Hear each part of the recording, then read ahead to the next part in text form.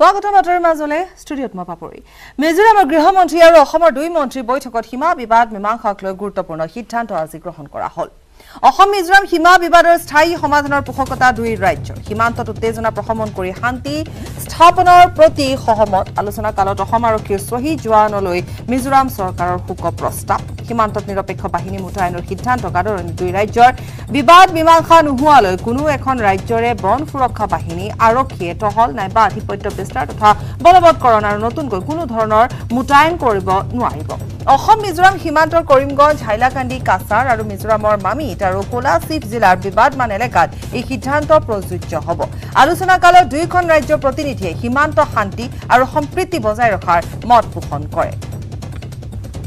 আজি এক গুৰুত্বপূৰ্ণ বৈঠকত যিহেতু মিলিত হয় আৰু এই গুৰুত্বপূৰ্ণ বৈঠকত অসম মিজোৰাম চৰকাৰৰ বৈঠকত এই কেইবাটাও গুৰুত্বপূৰ্ণ সিদ্ধান্ত গ্ৰহণ কৰা হয়। জইণ্ট ষ্টেটমেণ্ট দিয়া হয় আৰু তাৰ ভিতৰত এই সিদ্ধান্তকেইটাৰ ভিতৰত কেইটামান সিদ্ধান্তৰ কথা আমি ইতিমধ্যে কৈছোঁ যে গুৰুত্বপূৰ্ণ এই সিদ্ধান্তৰ ভিতৰত আছে অসম মিজোৰাম সীমা বিবাদৰ স্থায়ী সমাধানৰ পোষকতা কৰিছে দুই ৰাজ্যই।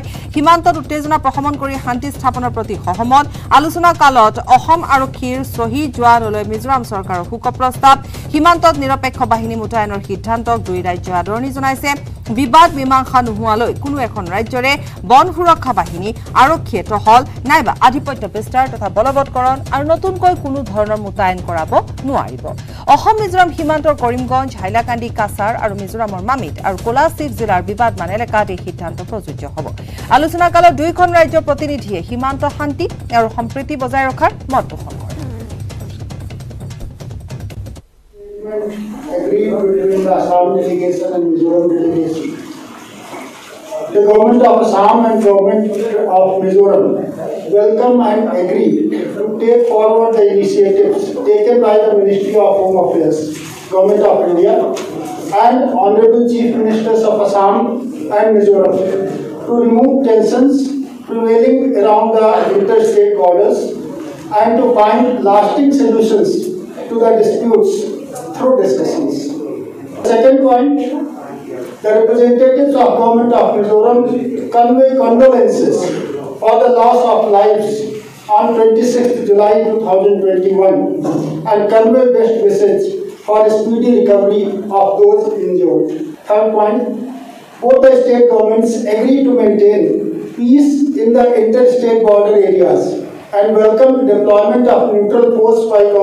সম্পৰ্কত আজি যিহেতু আজি পাঁচ আগষ্টৰ দিনাখন দুয়োগৰাকী মন্ত্ৰী তাত উপস্থিত হৈছে। আৰু উপস্থিত হোৱাৰ পিছতে এই গুৰুত্বপূৰ্ণ বৈঠকত অনুষ্ঠিত হোৱাৰ পিছত কিছু সিদ্ধান্ত গ্ৰহণ কৰা হৈছে। আমাৰ সাংবাদিক অনিৰুদ্ধ লস্কৰ আমাৰ সৈতে আছে। আমি তেওঁৰ সৈতে আৰু কিছু কথা পাতিম বা এই সিদ্ধান্ত বা এই জইণ্ট ষ্টেটমেণ্ট সন্দৰ্ভত অনিৰুদ্ধ লস্কৰে আমাক জনাব। অনিৰুদ্ধ। আজি মিটিংখন আহ, আৰম্ভ হওঁতে অলপ দেৰি হৈছিলে কিন্তু এটা বজাত আৰম্ভ হৈছে কিন্তু পোন্ধৰ মিনিটৰ ভিতৰতে শেষ হৈ গৈছে মিটিংখন।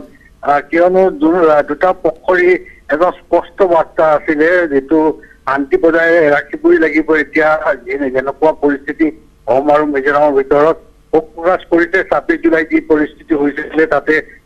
এইটোৰ আৰু আমি পিছত কথাও পাতিছো অতুল বৰা ডাঙৰ আমাৰ মন্ত্ৰীৰ লগত।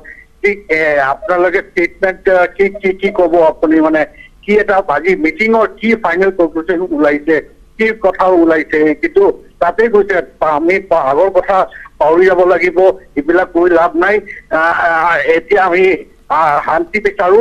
আজিৰ যিটো মিটিং হৈছে দুই মন্ত্ৰী আৰু মিজোৰামৰ ফালৰ পৰা হোম মিনিষ্টাৰ লালচিং লিয়ানা আছিলে আৰু ৰেভিনিউ লেণ্ড মিনিষ্টাৰ দাৰিদ্ৰজন আছিলে ইয়াতে।